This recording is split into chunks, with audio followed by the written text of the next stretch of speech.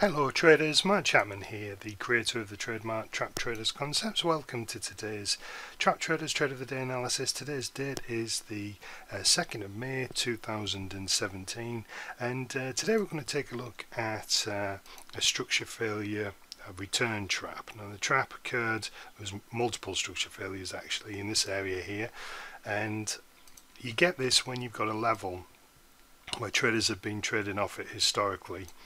Um, in this case it was a level of support. Price comes in bounces off a couple of times.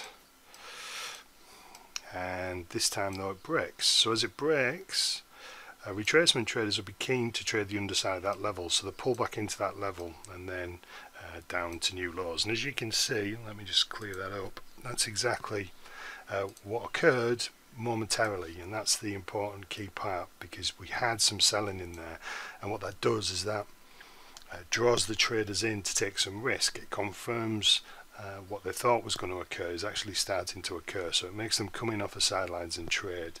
So uh, they do that, they go short, believing it will follow through. No sooner uh, does that happen, uh, the market's gone strongly against them. The stops would have been in and around this area here, but obviously um, very common for traders to cancel stops uh, and hold these losing positions. So if price comes back into this uh, this area, this looks like a, a pretty good place uh, to get long. And if you'd like to learn how we do this in more detail in my brand new inner circle, click the link below. I'd love to see you there. take care and have a good day.